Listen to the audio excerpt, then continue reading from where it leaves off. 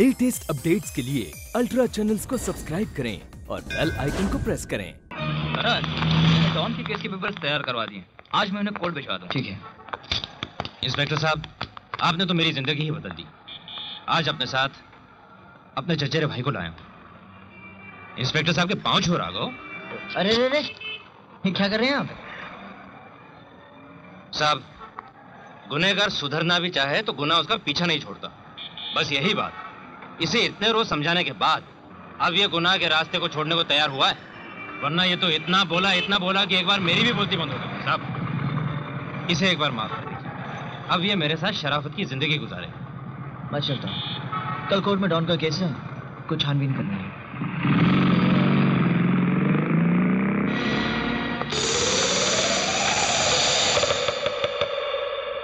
My Lord अब मेरा गवाह है रमेश तेजानी।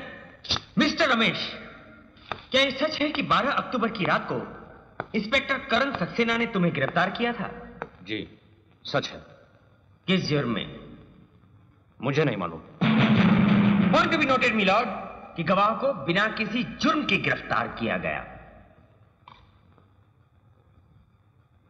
मैं अब इस केस के चश्मदीद गवाह बहादुर इंस्पेक्टर करण सक्सेना को कटघरे में बुलाने की इजाज़त चाहता हूँ। इजाज़त है। इंस्पेक्टर करण सक्सेना मेरा पहला सवाल आपसे यह है कि बेगुनाह रमेश तेजानी को किस जुर्म के तहत आपने गिरफ़्तार किया था? गैर कानूनी हथियार रखने के जुर्म में उस गुनाह की आपने रिपोर्ट दर्ज की थी? जी नहीं। क्यों? दरअसल सिर्फ़ एक गैर कानूनी हथियार बेचने वाले को पकड़ने से उन गुनहगारों का मसला हल नहीं हो सकता। मैं तो सिर्फ़ इस छोटी सी कड़ी का सहारा लेकर उनके मुकाम तक पहुँचना चाहता था। और इसलिए तुमने कानून को खिलौना समझकर उसके कायदों से खेला। और एक मुजरिम को ना मुजरिम रहने दिया और नहीं उसे सच्चा गवाह बना सके। जबकि हकीकत तो यह है कि गुनहगार ना तो मिस्टर डॉन है और ना ही गवाह मिस्टर तेजानी। अगर कोई गुनहगार है, या तो वो तुम हो, या फिर ये है मिलान असली गुनहगार है ये आदमी। इसका नाम है राघव। इसका बयान लिया जाए मिलोड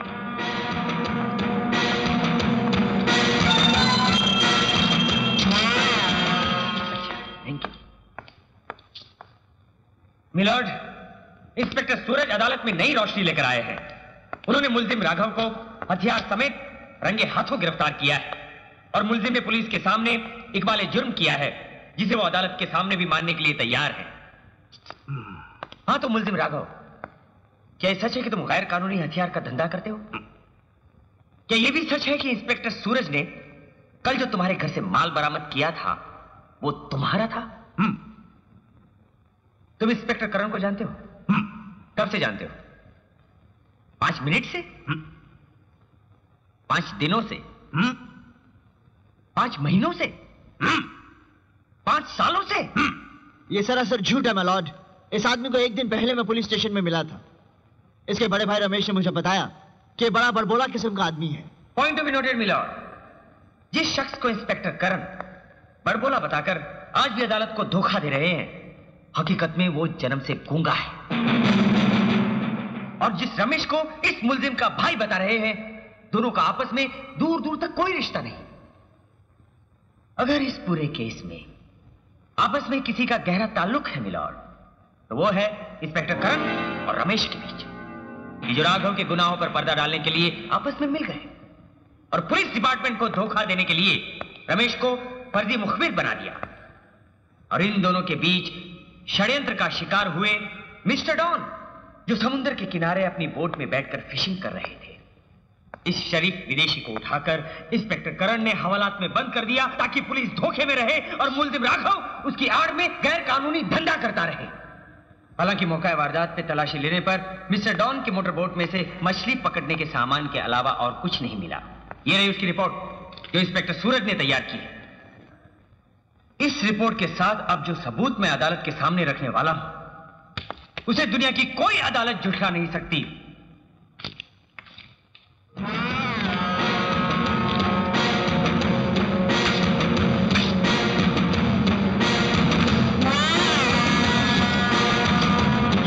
देखकर एक जज होने के नाते आप पर एक पहाड़ टूट पड़ेगा और एक बाप होने के नाते आपकी उम्मीदें आपके सपने टूट कर बिखर जाएँगे, मिलॉर्ड। यहाँ एक और मुलजिम खड़ा है जिसने अपने गुनाह कबूल किए हैं। और दूसरी ओर एक पुलिस अफसर कि जिस पर मुलजिम को पनाह देने का जुर्म साबित होता है। मेरी अदालत से दरख्वास्त है कि इसका न्याय करें और मेरे मुवक्किल मिस्टर डॉन को बाइज्जत रिहा करें। थैंक यू मिलॉर्ड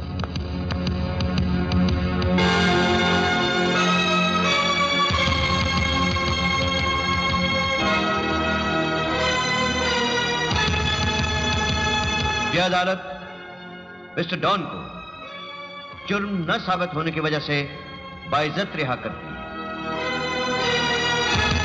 यह अदालत मुजरिम राघव को गैर कानूनी हथियार रखने के जुर्म में आठ साल कैद मुशक्कत की सजा देती है और पुलिस हेडक्वार्टर्स को हुक्म देती है कि वो इंस्पेक्टर करण सक्सेना के खिलाफ सख्त से सख्त कार्रवाई करे। ये नामुमकिन है डैडी। दुश्मनों का पता इस मर्तबा भारी पड़ा होगा। इसे कानून ने करण को गुनहगार समझ लिया। पर आप भी उसे गलत समझे? कहाँ की इंसानियत है? कानून इंसानियत की दलीलों पर टिका हुआ नहीं है दिव्या। मेरे लाख समझाने पर भी कानून को अपने हाथ में लेकर कानून के साथ खिलवाड़ करता रहा है वो। खैर अभी तो उसने अपने किए का आगाज़ देखा है। अंजाम तो वक्त आने पर पता चलेगा। लेकिन फ़िलहाल मैं इस बारे में कोई दलील नहीं सुनना चाहता। जज साहब तुम आज आपकी जजमेंट गलत हो गई जज साहब। क्या मतलब है तुम्हारा? मैं उस फैसले के बारे में कहना चाहता हूँ जज साहब जिसे आप आज सुना के आए हैं। सच्चाई यह है कि करण निर्दोष है। उन्होंने मेरी मजबूरी पर तरस खाकर मुझे सजा मिलने से बचा लिया। और मेरे गुनाहों की सजा उन्हें भुगतनी पड़ी। तुम्हारा मतलब? बैठ जाओ। बैठ जाओ पूरी बात बताओ। अरे भाई समधी तो ससुराल से आ गया और हम बाराती भी हाजिर हैं। लेकिन दुल्हा रमेश कहाँ है? पापा जी रमेश अभी तक घर नहीं पहुँचा पापा जी। क्या? पता नहीं उस हरामजादे को आसमान निकल गया या ज़मीन खा गई। ज़मीन खा गई नहीं ज़मीन खा जाएगी। अपने आँसू सूख जाए तो आदमी दूसरों के आँसू पहुँचने चला जाता है। मुझे मालूम है वो कहाँ होगा। कि आज मुझसे क्या हो गया। किसकी सजा किसको दी उस देवता को जिसे एक जाल में फंसाया गया। असली मुजरिम है वो दरिंदा भुजंग। हाँ भुजंग। और आज इस दरिंदे के पंजों से तुम भी नहीं बच पाओगे रमेश।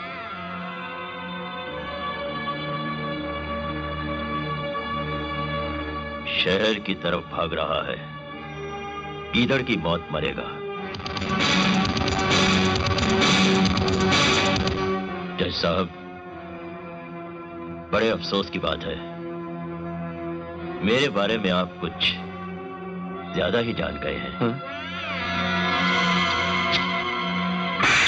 भैया ने कहा था शाम तक आ जाएँगे। अभी तक आए नहीं। नताशा! भैया भैया!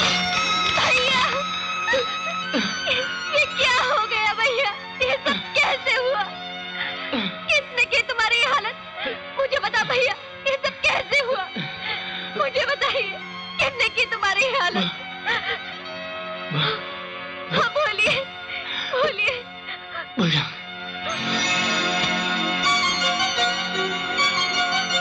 तुम्हें मारकर उन लोगों ने बहुत बड़ी भूल की है भैया।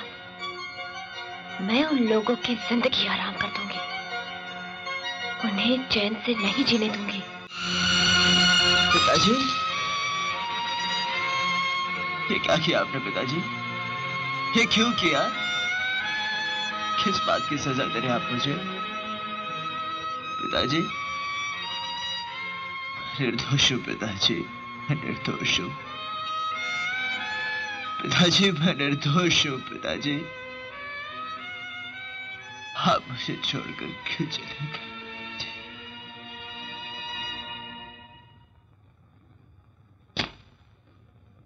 करण, मुझे सक्सेना साहब की मौत का बहुत दुख है। लेकिन उससे ज़्यादा दुख इस बात का है कि तमाम हालात को देखते हुए भी मैं तुम्हारी कोई मदद नहीं कर सकता। याद है मैंने तुमसे एक बार कहा था कि कभी कभी कानून का फंदा उल्टे अपने ही गले में आ पड़ता है। देख लो आज वही हुआ।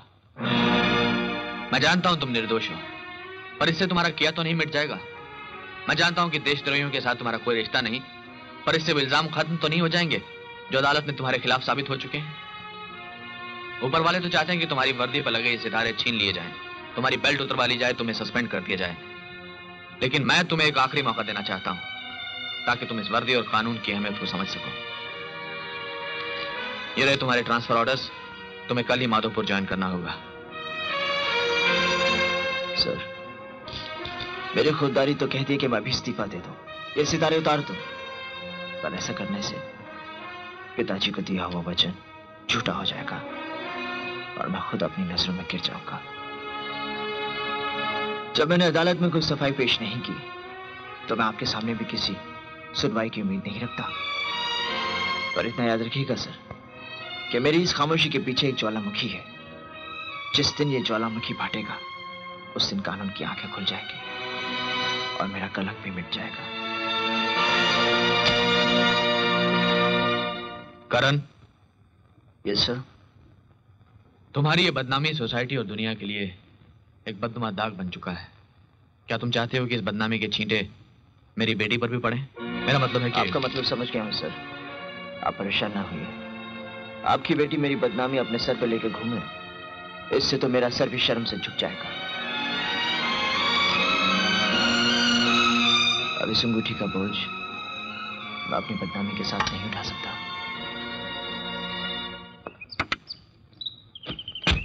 चलो, ड्राइवर।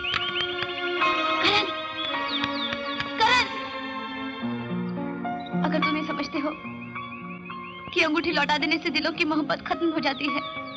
तो ये तुम्हारी भूल है करण। दिव्या दुनिया ने मेरी सच्चाई को झुटलाकर मुझे बदनाम कर दिया है। और तुम्हारे पिताजी ये कभी नहीं चाहेंगे कि तुम्हारी शादी किसी बदनाम पुलिस ऑफिसर के साथ हो। इसलिए तुम्हारे लिए बेहतर यही होगा कि गुजरते वक्त के साथ तुम मुझे भूल जाओ। भूलना इतना आसान नहीं है करण क्योंकि गुजरते वक्त के साथ यादें खत्म नहीं होती बल्कि उनका दर्द और बढ़ता जाता है। बस तुम जहाँ भी रहना करण, इतना याद रखना कि कोई हर पल तुम्हारा इंतज़ार कर रहा है। ज़िंदगी के आखिरी सांसों तक बस तुम्हारा इंतज़ार।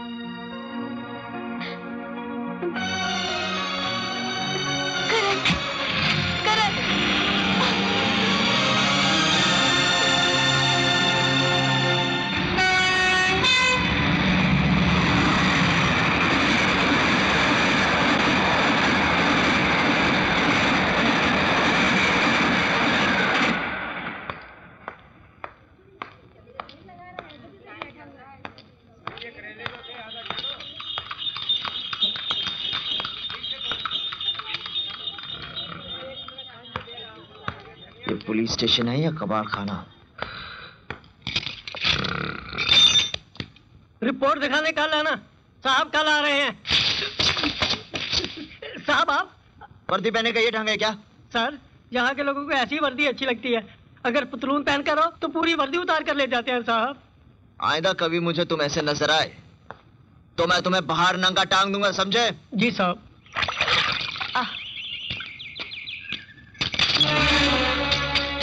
अगर एक कदम भी आगे बढ़े तो हम चिल्लाई के थानेदार सबको बुलाई देंगे हाँ। अरे यहाँ तो हमार राज चलत है बबनी। और थानेदारन के तो हम यहाँ पतलून उतार लिया करत हन। अच्छा। आज तो तुम्हें हमारे साथ चला ही का पड़ी। हाँ चलो ना। हट। तुम लोग मेरे साथ ज़बरदस्ती नहीं कर सकते। अगर बापू का फैसला है तो वही कर ले पैसे वाले से शादी। मैं तो जैसे शादी करूँगी उससे प्यार करती हूँ और उसके लिए अपनी जान भी दे दूँगी। तुम लोग सुन लो। लेकिन तुम लोगों के साथ मैं घर नहीं जाने वाली हूँ। अरे जइहा कैसे ना तू ये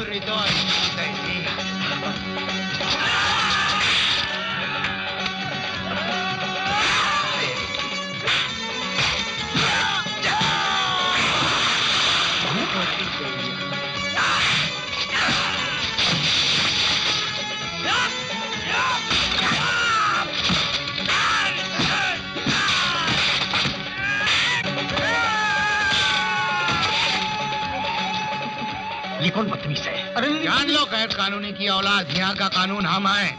ये माधोपुर है। यहाँ बड़े बड़े गुंडे हमारे नाम से ठंडे हो जाते हैं समझे कि नहीं? Cut it cut it. ये कौन it! चुप रहे। कौन है ये है? What's happening? ये आप क्या कर रहे हैं? का? ये सब असली गुंडे थोड़ी हैं। फिर? फिल्मी है फिल्मी। फिल्मी? तू का होता है? यहाँ शूटिंग चल रही शूटिंग शूटिंग। शूटिंग? आ, शूटिंग बाइस्कोप।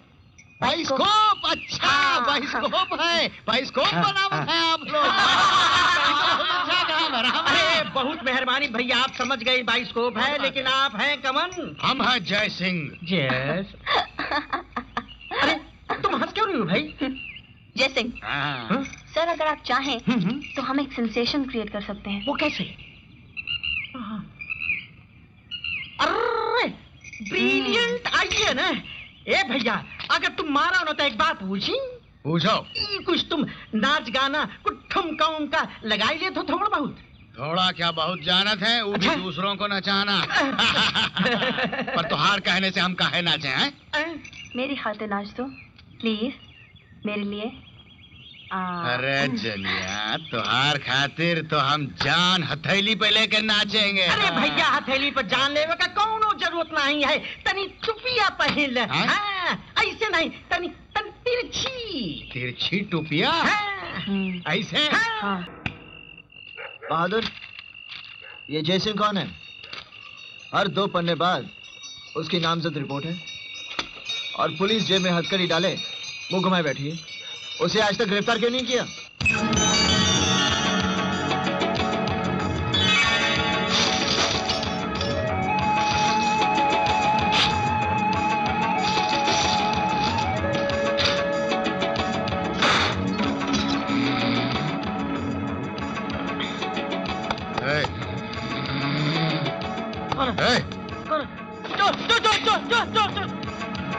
अरे चोर नहीं हम हैं। जय सिंह, अगर अब तेरे मुँह से जरा सी भी आवाज़ निकली, तेरा टैटुआ दबा के निचोड़ दूँगा, तू कबूतर की तरह फड़फड़ा के मर जाएगा। जल्दी बता, तारा मौसी के ज़मीन के कागजात कहाँ रखे हैं तूने?